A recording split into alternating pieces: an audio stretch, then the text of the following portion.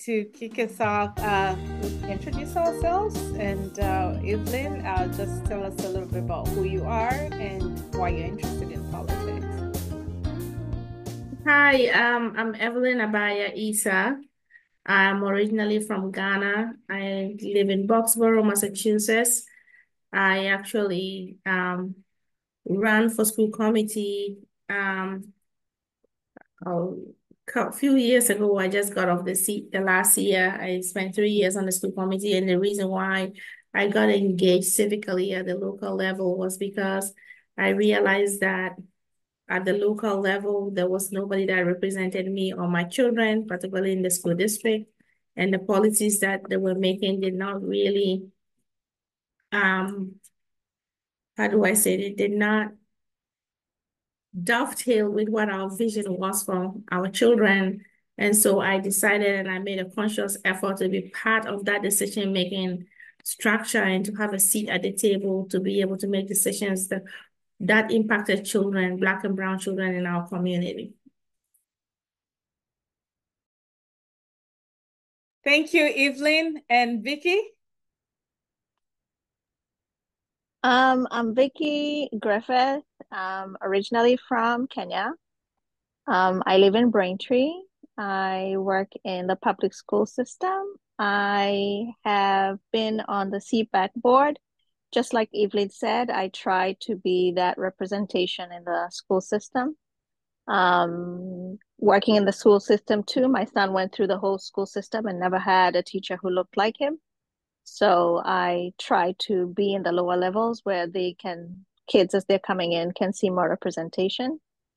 Um, I have always loved politics. This is um, this year, just having a woman running has just, she was the person that I wanted when she first announced. And I was disappointed when she kind of had to let go. So this time around, I am just ready to just go go at it. I'm just very very excited because she's been my number one person. Just knowing her life story, being an immigrant, just you know, immigrant family, just like us. It's just nice to see where she's gotten to. Excellent. And uh, Maureen just joined us. Maureen was uh, is co-organizing this with me. Uh, Maureen, could you do you mind turning on your video? And uh, introducing yourself.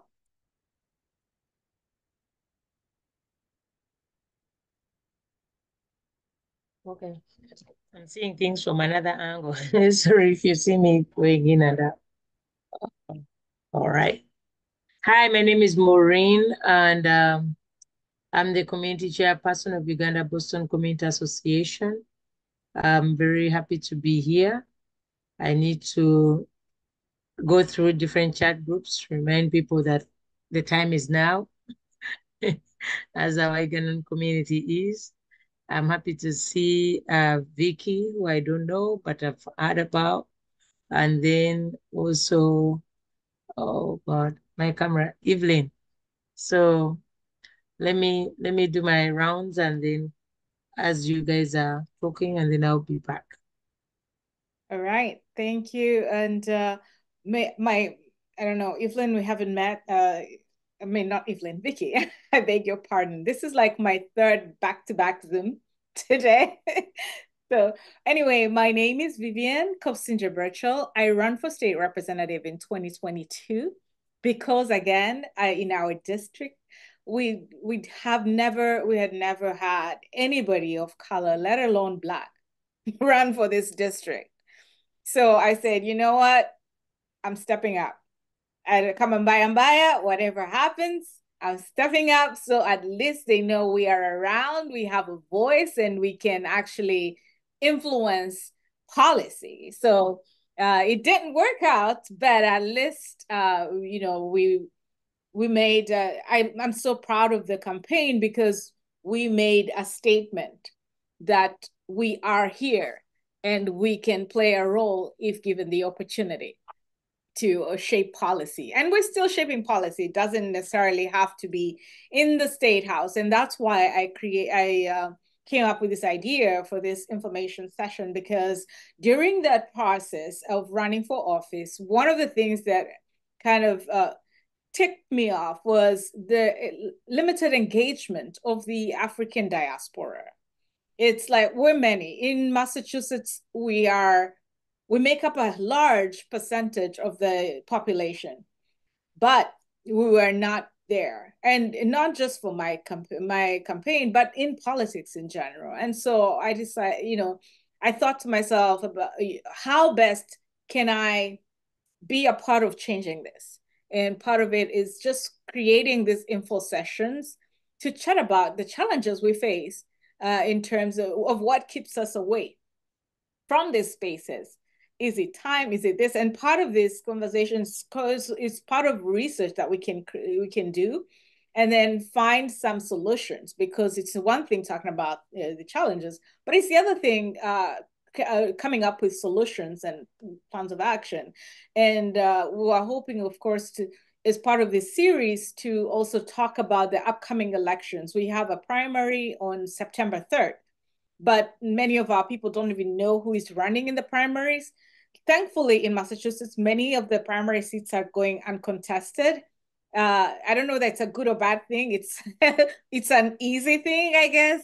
But uh, we need, of course, many of these seats challenged because that's how democracy works best. But eh, you know, to in the interest of engaging uh, our diaspora, part of the vision was to at least talk about how to make sure that people's vo- uh, votes uh, how to make sure that people vote. First is registering to vote and knowing who the candidates are and, and learning about the different uh, the different platforms of the different candidates because uh, different candidates have different issues. And as the african diaspora we have issues that you know that we care about that oftentimes are not, eh, you know, are not presented in a way that could shape policy. So uh, that's just an overview of why this came about. This is hopefully going to be uh, the start of many uh, conversations. But uh, maybe to kick it off, we'll just say what maybe for, with Vicky, what has been your experience? I know that uh, Evelyn just said be right back as we wait for um, Evelyn what has been your experience with politics or policy? You talked about your school committees and engaging with the school administration. What has that been like for you? What has kept you from engaging more? And yeah, let's start there. Um, I feel like it it has been a good experience um, because I've come in as a parent and then now like being more involved i try to make sure that i understand the town that i live in and what local politics is happening here and be more engaged in it. Um, because if you're not getting engaged then you don't know what's happening. So i try to be a little more involved and then i talk to other people. But again um, most of our people unless they have one or two issues that they're interested in then they won't participate. necessarily the easiest. So um, I feel it's more the engagement of just knowing that if they understood what was going on instead of saying, I don't um, I don't like the town I live in, um, you can do something to to be engaged to make that difference. Yeah, thank you, thank you. And uh, I don't know, Evelyn, whether you heard the prompting uh, question, but what would you please share with us your experience with, uh, first of all, um, sorry, I, am just letting people in as uh, as we talk. Uh, you have run for school committee. Uh, that's a seat that not many of our diaspora think of. Uh, many of our diaspora do not actually uh, think that uh, local elections matter, but you know that they do, and that's why you run. Would you please share with us your experience, why you chose to run? What were some of the things you learned along the process of even just running for office? And then uh, when you got to office, what you experienced that could help our diaspora uh, get off our butts and get engaged. So as I said in my introduction, the reason why I learned for, I ran for school committee um, was one because I didn't think that the policies that my school district were putting forward really um, supported the growth and development of my children in, in this district. And so my kids had experienced different levels of discrimination, whether that was um, vandalizing their lockers, whether that meant calling them the N-word, or even when my kids played all white sports like ice hockey, they experienced different levels of discrimination. And anytime that I went and complained, I didn't see any policy that supported um, people like me and my children. And so um, my intent was really, and I didn't know anything about school committee. I didn't know anything about policy formation and policy development, but I wanted to, I knew there was something fundamentally wrong. I didn't know what it was. Um, I didn't know how I was going to help, but I said that, well, the only way I'm going to really figure out what is going on is to go and sit there and understand what was going on. And as I dug through, um, I realized that the discipline policies were lump-sided against Black and Brown people, Black and Brown children, that the Black and Brown children were historically failing in our school district, although we lived in a school district that was high-performing and one of the best in Massachusetts, that policies like our lunch policies and even our instructional policies did not support our kids. And so um, one of the the the, the reasons, I, I mean, I, I think that although I didn't know what I was getting myself into, I had this kind of intuition that I needed to sort of get under the hood, under the tent to really understand what was going on. And not that my kids, I mean, my kids experienced different variations of discrimination, but I really didn't even know what I was going to uncover. But I would say, in short, that the takeaway from all of this is that policies that actually impact us as humans and as people of color are usually originated from the local level and permeate all the way to the federal level, right? So if you even think about school districts, for instance, you may think, well, what kind of policy can a school district put forward that will be so impactful? That is not a federal policy. But I sat on the policy committee and I made a conscious effort to not run for any sort of office in the school. I didn't want to be chair or vice chair because I wanted to have a voice at the table and speak freely. But I sat on the policy committee because somebody had advised me that the policy committee is where all these structural racism, institutional racism get formulated and entrenched in the district. And, and so you would learn that, you know, even something like lunch, payment of lunch, free lunches, right? That um, there are policies like a kid who has a low balance cannot get lunch and then they can get a sandwich, but they cannot get lunch. Or the lunch lady sort of just tells the kid, oh, you can get lunch because your balance is low, embarrass the kids, instead of taking it up with the kid's parents and feeding the kid lunch. There's so many reasons why a kid's balance may be low. It's not always down to affordability. It could be that the lunch, the, the card that is tied to their lunch account has been discontinued. It could be that um, their their card got lost and they they turned it off. It's an, a variation of you the card has expired and they have a new card and everybody knows that you have to go through different portions of your life to update your card. When your card expires and you get a new card and and the school lunch is probably the last thing that's on your mind. And so a kid should not be embarrassed. And then when you talk about performance in the school district, why are our kids not graduating? This impacts generations, right? And so if your kid is not graduating at the top of their class, if they are not treated well in school, it, it affects their performance, it affects their self-image, it affects their mental health, and so on and so on.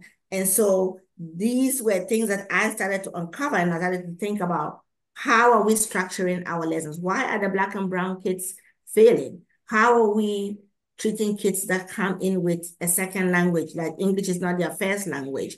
How are we treating kids that are immigrants? How are we treating kids that are coming in as refugees? Is there a stereotype there that they just don't know? And then in our school district, for instance, there was something we called leveling. So if you came in and you didn't speak English and they put you in a low level English, there was no way for you when you improved your English to actually grow and get the opportunity to get into honors. And so these were barriers that I I began to realize and started to break those barriers down. And so what I often tell people like me, immigrant communities like me, people of color like me, is that if we leave it to people that don't know the pain points that we have, the policies will never support our children. And these policies are important because if your kid drops out of high school, it means they're not getting into college. It means they're gonna get a low level, low paying job. And it's a ripple effect of things that happen at the grassroots level. I'll give you an example. Somebody said, I asked a question in our school district when you are in high school and you start driving, you pay $200 to park.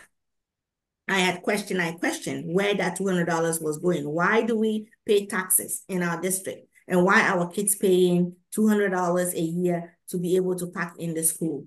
And somebody's response to me was, well, if you can buy your kid a Mercedes or a BMW to drive to school, $200 a year should not be a big deal. And I said, no. Interestingly, not everybody in our district is giving their kid a BMW to drive to school. So you see the mindset, $200 to somebody is nothing. But I know $200 to a lot of people in our community is something. And it's not even the black and brown community. I'm not saying that we are the poor people. There are Caucasian families in our school district that can come up with $200. It's not that easy for them to get it. And so, but people who are making, who are running for school committee are in an economic bracket that they're not even thinking about it. They don't think lunch is a problem. They don't think parking is a problem. They don't realize that it's not everybody that can take their kids to Russian math to learn math before they come to school to study. And so when the kid is failing in math, is not comprehending math because the teacher is teaching at a higher level, and I don't have the money to take my kids to Russian math to learn before they come to school. And in fact, school should not be you go and learn and come back to school. My kids should have to come and learn the basics in school. And so somebody needs to say, well, I don't have the money to take my kid to Russian math. And I expect you as the instructor to teach my kid the basics that these kids are going to learn at Russian math so they can be at level with the kids that are going to Russian math. But if you are not on the table and you are not sitting at the table, you cannot be able to, to fight these structural, and these are structural policies and, and, and regulations that are put in place to disenfranchise people who cannot pay to be at that level. And so these are the important factors. I and, and it's not every black and brown person that even gets it. The person that replaced my seat, we when I was a school committee member, we ended up making lunch free. And at the school committee recently, I think last year, when they were talking about, oh, um, we should approve free lunches again for people. She said, why should kids get free lunch? Why should people be living in a million dollar houses and be asking for free lunch? And she's a brown person, and she didn't even get it that there are kids in our community, including white kids, that can't even pay that $2.50 to eat lunch. And so I'm saying all this, I know it's a long-winded answer, but I'm passionate about local politics because that's where the agenda gets set. And that's how people rise to become they go from school committee to become select board members, to run for office, and then they end up becoming the federal leaders and, and politicians that we have, and then subsequently even presidents. But that's where the grassroots is where all the structural, institutional racist policies get formulated to disenfranchise the people that are not at the table to lend their voice to it. No, thank you. Thank you so much for giving us that very, you know, detailed experience uh, as, a, as a local leader, a school committee. And for those of you who have just joined us, uh, that was Evelyn, uh, Dr. Evelyn Abaya. Um, she works at Mass General. I forgot to ask you to introduce yourself properly because there, you hold so many titles, and probably later I will ask you to do that. But you know, we're just talking about what are some of the things that drive us or have driven us to come and just learn about how to engage in uh, in politics or policy here in Massachusetts. Um, and for the benefit of those again who have just joined us, I'm just going to call on uh, you to at least tell us your name. And uh, if you can't talk, please type your name and where you're, you know, what town you live, just to, to give us an idea uh, of who, where you're coming from and uh, what possibly who would be uh, running in your area so that uh, we are more uh, we are more helpful that way. So um, I would like to if is African descent. That's what your phone says. African descent Ontario. Uh, would you like to tell us who you are, please?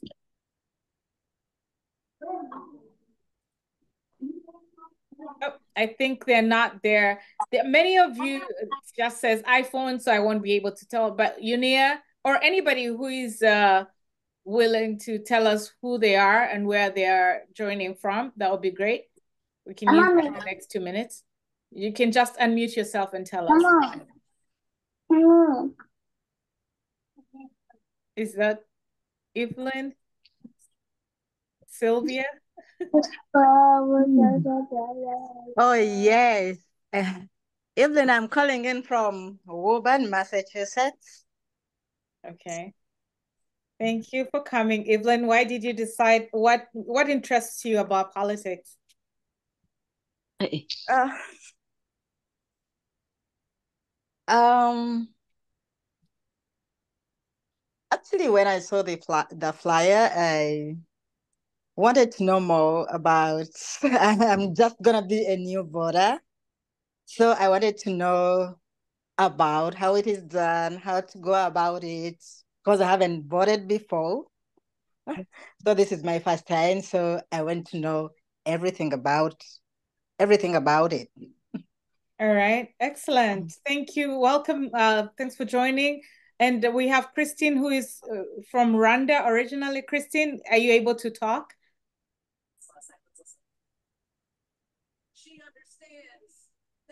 of us will never be afforded the grace of failing forward. Hello? I think we lost her. All right. Um, oh, JK, welcome. Oh, you're muted. There we go. Um, my name is Julie Kalunji. And I'm happy to come onto this Zoom. Uh, I was invited by Marina Simwe. I mean, she informed me of this meeting. And I think as a society, um, as part of the community, we need to know what's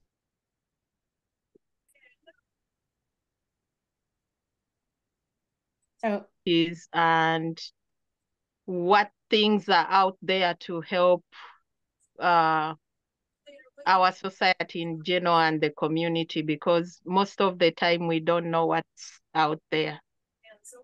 And also politics helps us because they determine what goes to what community in terms of uh, cash flow and how like for schools, they determine how schools are run. Uh, because I've realized like communities like Andover receive more financial benefits compared to schools like uh okay different schools receive benefits depending. Thank you. Oh thank you so much. Uh anybody else uh, want to introduce yourselves? Lino are you able to talk yeah like i say i i think i sent you a message yesterday um this is my my busy time, like my really busy, busy time. So and and I was just busy and I was like, oh my God, I need to at least go there and, and show myself up. And uh, if I have to go back to to my duty, go back to my duty, but at least yeah, I'm here. So I don't know what you guys have talked about already, but you know, like, like I said to you, uh, I feel like we really need to get ourselves involved because so many times we feel like if if I don't vote, it doesn't matter. But you forget that by not voting, you have voted. And you have voted no to yourself because you have given someone else to go and make a choice for you. So you sit at home and you're like, oh, that doesn't matter. It doesn't, it, it's, it has always been like that. No, it hasn't. You can make a change. And guys, being who we are, being the diaspora, having had what Trump is thinking about us, and many, many of the same people that think in the same way as Trump, we really need to come out and start making our voices heard. Because the browning of America is threatening a lot of white people. A lot of white people, especially the evangelical white men that feel that everything should be the way they want it to be, having to think about what they did before and what they are doing to other people, they are so scared and they will do anything and everything to make sure that we don't be allowed to participate. So, whether you have just a green card, you can't vote though, or you are a citizen you have to go vote. But once you live under this country, you live in this country, whether you believe me, even when you don't have the papers, you still live here. Something is going to affect you. So talk to your friend, someone who can vote. At least urge them to go and vote. But please, please, please don't stay home because when you stay home, you have asked me, you have asked Vivian to go and vote for you and they may not vote in your interest. That's fantastic. Thank you for that introductory remark, uh, Lino. I we couldn't agree with you any less. You have done, uh, you know, a phenomenal job of just describing some of the threats we that are facing us. I loved your phrase, "The browning of America is threatening white people." Uh, that's you know a very simple way of explaining, you know, some of the challenges we face with uh, discriminative tendencies and all that and uh, it can only be you know it can one of the biggest ways to address those is through voting. And what you said by not voting you have voted. This is there's so many things i could pick up from what you just said but i'd like to hear from robert chigundu. Are you are you here? Can you talk? Um i think he he oh. yeah sorry sorry. I'm in a very noisy place. I'm working. That's okay. But but uh, yeah, I just jumped on here. Probably this is my first time. I think was link was shared by Afande Momo, uh, Maureen Karemba, the president of the Uganda Boston Association. I know, uh, based on what I just heard from what the previous speaker said, I can uh, easily relate and connect to what you guys are talking about, which is we gotta get involved as the diaspora in US politics, right?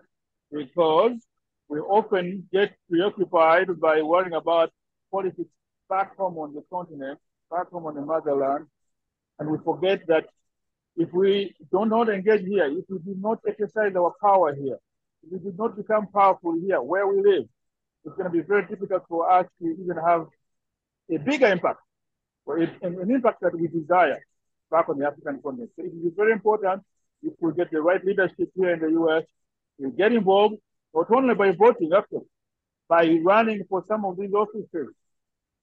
Okay, I think uh, it's very important. So uh, I like the subject. I'll continue listening while I'm working. Thank you very much. Right. Before you go, Robert, I just want to have one follow-up question. What are some of the things that you think are keeping us as are you African diaspora, Ugandan diaspora from engaging in mm -hmm. Uh, I think uh, we don't even know that we are powerful. We, we preoccupy, we, we worry about the problems back home. That is preoccupying us. So we we tend not to buy, get bothered or pay attention to the politics here. We are always in transition. We are thinking about back home.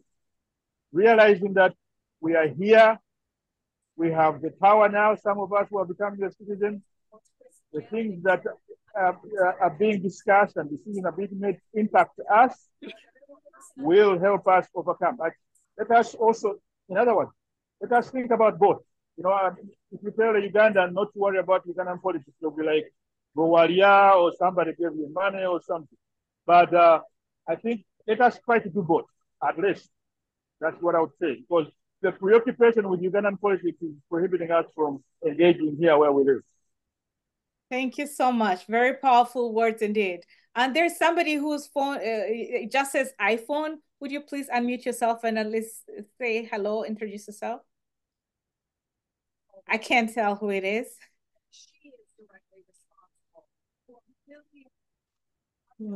Oh, okay. I, I, I don't know whether they can hear us, but this is fantastic. And uh, someone is joining us. Grace will let them settle in, and then uh, we'll ask them to introduce themselves. But based on, uh, yep, did I?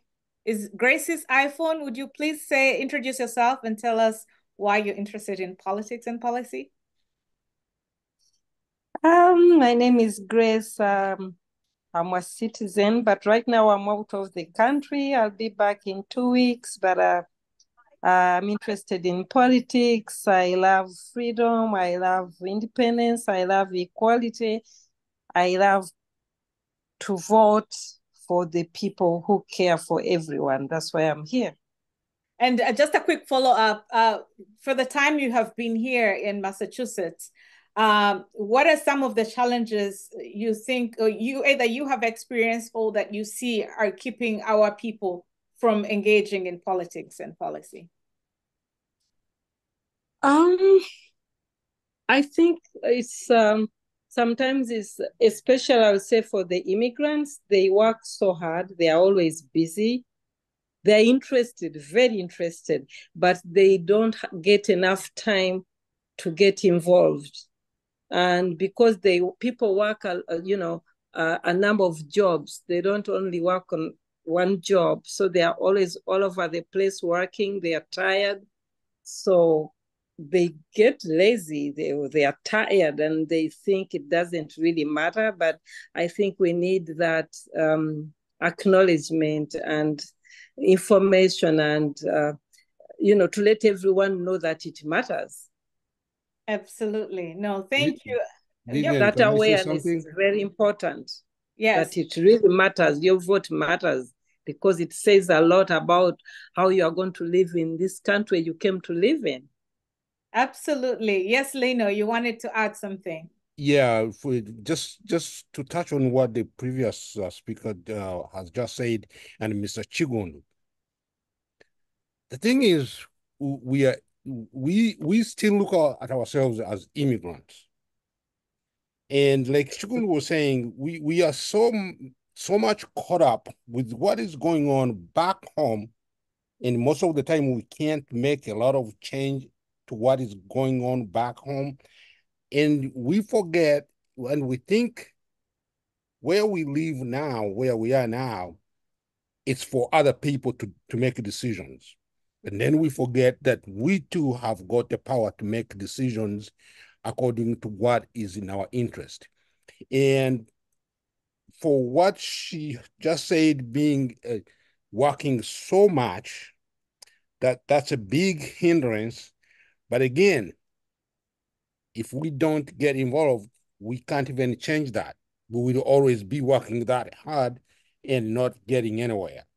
So we we have to figure out we have to find a way of getting involved in trying to make changes so that we also can start enjoying the things that uh, uh, others are enjoying here and not having to work that hard. Because believe me, we get asked so many questions. Yeah, I mean, a lot. Of, one question a lot of times: How do when you are going to work? How do you do it? I I've had that from my fellow workers. You know what I mean? How do you do it?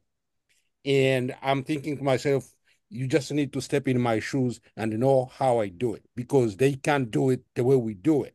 But if we don't make change, then we always do it that way, and it's it's really it can really take a toll on ourselves. So we need to have our mindset and the things that are what, what we are looking at from back home. We kind of need to start transitioning from there because honestly, how many of us go back there to enjoy the things that are happening there? Not until when we are either way too old or when we are in a casket. So, Mm. so I have yeah, to agree with with Lino that I think I was gonna say the same thing that the only way that we can start to appreciate how these why how why civic involvement is important is to change the mindset and to know that we're here. This is our home. And to his point, when are we ever we most of us have kids here, we're raising children here. By the time we retire 60 something and go back, chances are we may never go back to Africa full time. So if you're in an environment where you're gonna live the rest of your life or most of your life, it is important that we change that mindset. I think we come here and we say, oh, in three years, I'm gonna go back.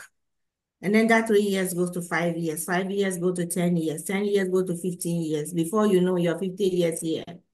And we haven't engaged in any way. And all of us always come, oh, when I come, oh, three years, I'm going back. At least I said that.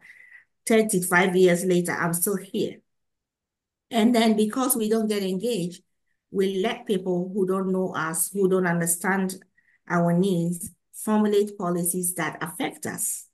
And sometimes it's not even intentional. It's just that they don't even know enough to formulate the policies to support our well-being.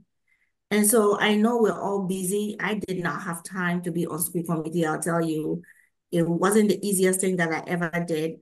Um, Vivian lives in my community and knew how much discrimination and Zoom bombing I got. But it was important that I sat there and I would have wished that I handed the baton over to another person, another immigrant that understood our cause. And I worry every day that the policies that I work so hard to put in place, that somebody can just undo those policies. But I cannot be on the school committee forever. But I think we're all saying the same thing that we, I think at least those of us on this Zoom understand that civic engagement, one, is important and that it's important that we change our mindset to get involved. And even that means just even joining your town meeting. There are towns that have town meeting, right? It's just being on there and be able to vote for the right policies. Planning committee, cultural committee, um, school committee, any little thing that you can get advertising that you can join, we should make it or encourage other people to do because that's where the conversations happen. That's where the policies get made. That's where things are entrenched and our kids and ourselves do not get to benefit. And, you know, recently in my, in my town, we had a police um, training, sort of like DOJ gives this community policing training. And the only reason why we thought about that was because I was involved. My husband has been discriminated against by the police of Boxborough. And so when the new chief came, and I had made formal complaints about it, when he came in, he said, how can I police in a more inclusive way that everybody in Boxborough is feeling included and respected by our police? And so this went to the DOJ and they funded the training. And I helped him to pull the training together and to think about how can we, when police gets called to our homes, for whatever reason, you know, how do they approach it with respect? When I was on the school committee, a woman came to attack me. And when I called the police, the police told me that, and I said, well, I felt like my life was threatened. The police said, well, if you think somebody's going to kill you in this neighborhood, you must as well tell me that a UFO landed on your roof. I felt that was disrespectful. And I made a formal complaint to my chief. So without some of these actions, and I did that not because I felt like he will come back and harm me or he, I would experience this again, but I did not want any person of color in my community to ever have to encounter this idiot of a police who will speak down to me because he sees my the color of my skin as black. And so we all we just need to, I think we're all saying the same thing, but we need to encourage everyone to be civically engaged. And it doesn't always mean that you have to run for office, but there are there's so many opportunities in our town halls. There's so many pathways to civic engagement that we can all lend our efforts in, that we know what is going on. We can educate our community about what is going on there's so many opportunities that come that we don't even know about, whether it's um, insulating your home. Or, there's so many things because we are not engaged. We don't always know. They come, the white people take them, and we don't even know. 40B housing. Some of us, there's so many Africans and immigrants that could benefit from 40B housing, but we don't even hear about it because we are not civically engaged. And when they come, the white people benefit. In my community, for instance, the 1240B homes, all of them are white people. And if you're talking about homes that are million dollars, eight to nine hundred thousand dollars, and twelve of those are 40B homes, you can see what they're sitting on. But we don't always know about it. So no, that is a very excellent thing that you've pointed out. The 40B housing. That's just one of the of the areas that of the blind spots that African diaspora are, are in the diaspora community because that's just one of them. There are so many uh, rebates on uh, on eh, you know renewable energy initiatives. And you know so many programs and subsidies that are given to our residents but we don't know as african diaspora because again like evelyn rightly said we are not engaged. So which is a great segue into the next question. Like how can we best get engaged? Because um, first of all we have upcoming elections and that was one of what inspired this zoom in the first place I, I, I don't know how many of us on this Zoom are even registered to vote or can vote. And uh, you can just put a thumbs up. And I, I ask that because it, many of our people don't know how to vote. And the best place to get information on how to register to vote is on the, the Secretary of State's website. Uh, there is it's a very easy process. You just have to be eligible. To be eligible, you have to be a U.S. Uh, U.S. citizen, but there are other ways to get engaged. Uh, and uh, for local elections, you can also be a permanent resident to engage in that. With that, so you don't have to be a citizen for that part. And uh, I, I probably we will not. I'll have a separate video to show how to access the information on how to register to vote. I want to keep this uh, Zoom, uh, you know, within the hour just to respect people's time but I wanted to take the opportunity for a Q&A. We have uh, Evelyn Abaya here who has run for office here. So if you have any questions, and I only know you, we were talking about some, how to fundraise, how to donate. Uh, if you have any similar questions to that, you know, just ask them or turn off your mic and ask or put it in the chat. And then uh, so that we have an opportunity to answer some of your questions. Vicky, I know um, I have a question. Yes, Grace. Grace, Grace. So one, I just wanted to answer what you said. How can we make people engaged? Uh, most immigrants uh, go to churches. That I know for sure. And actually, before you asked, I, I just wanted to ask for it that can we find a way of going to these churches and uh, give people some awareness, some sensitization about voting and why they should vote, because they need to be sensitized and to be given this awareness.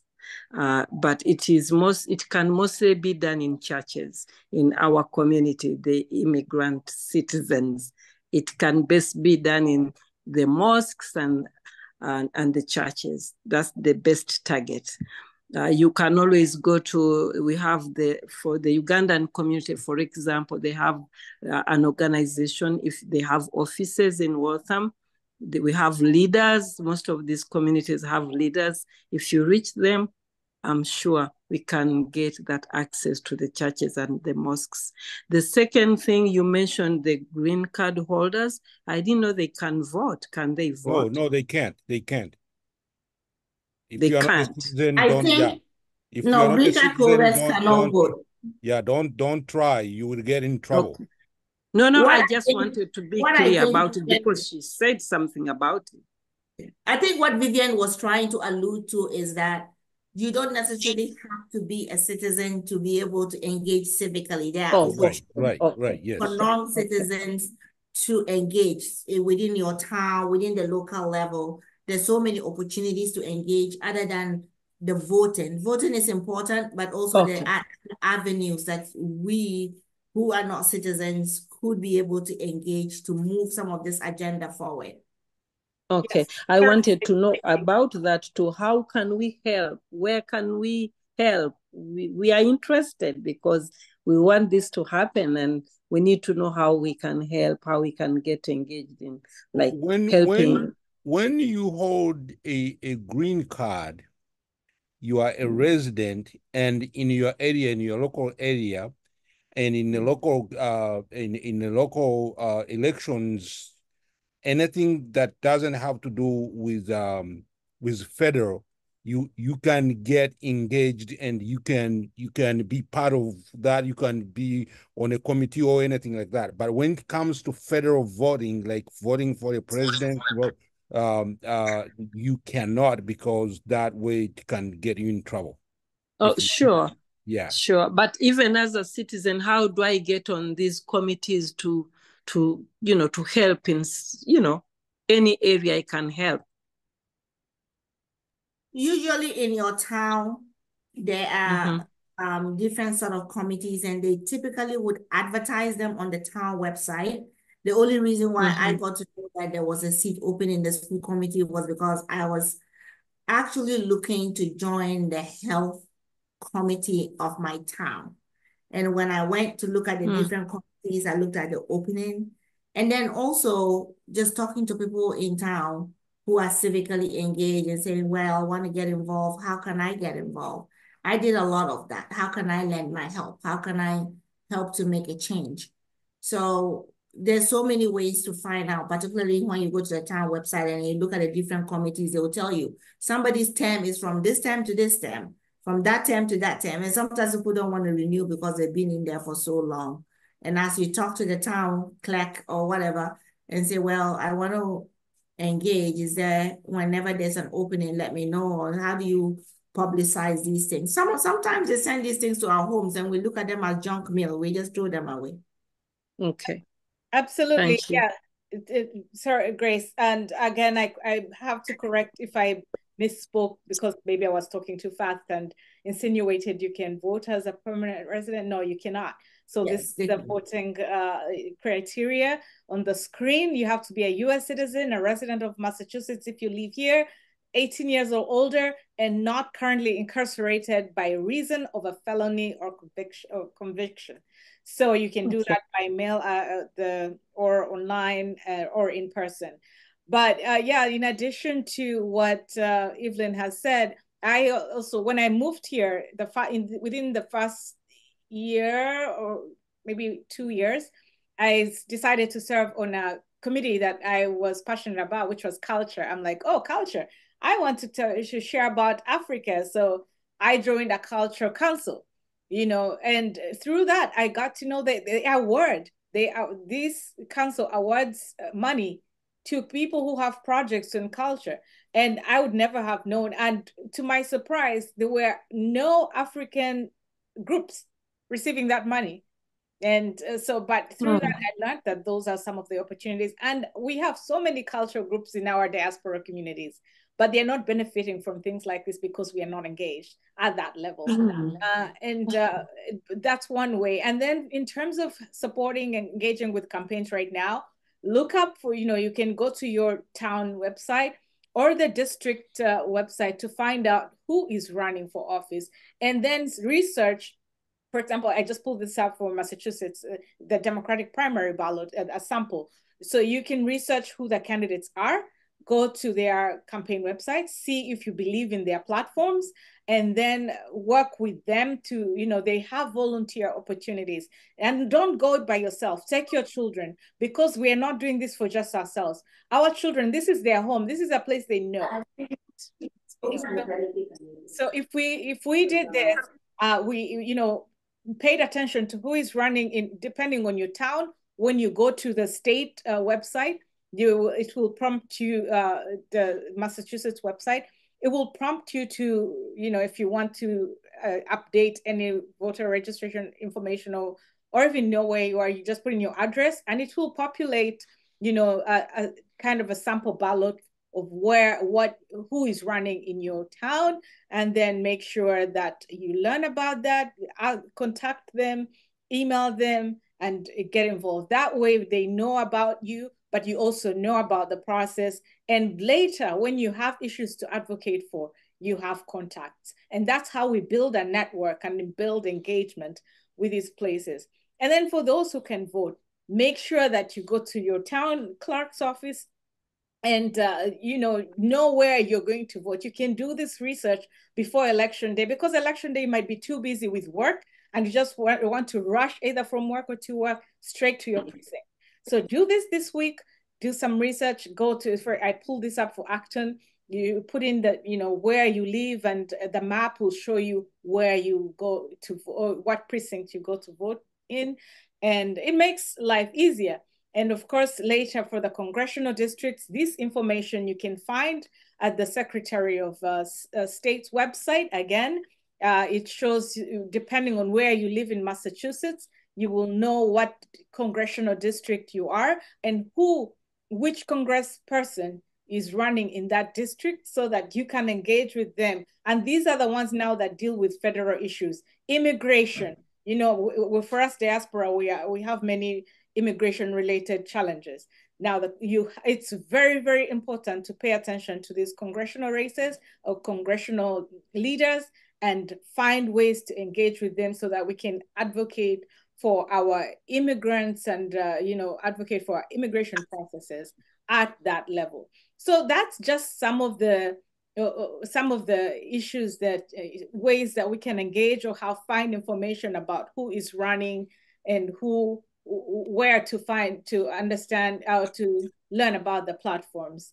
So uh, i know I've, that's quite a mouthful. This is probably uh, good for like another session but that's a, a quick overview of uh, of the process. So um, thank you the other thing that i just wanted to add to all of what you said is that there's also early voting. I know we're busy. So there's opportunity to if you're a citizen to vote early um, one thing that I do personally is I have two kids that are 18 and above. One is 21 and the other one is 22. What I actually do is because their home is our home, I request their ballots ahead of time so they can vote so they don't miss voting. So if you have mm. kids that are citizens, make sure that they're voting.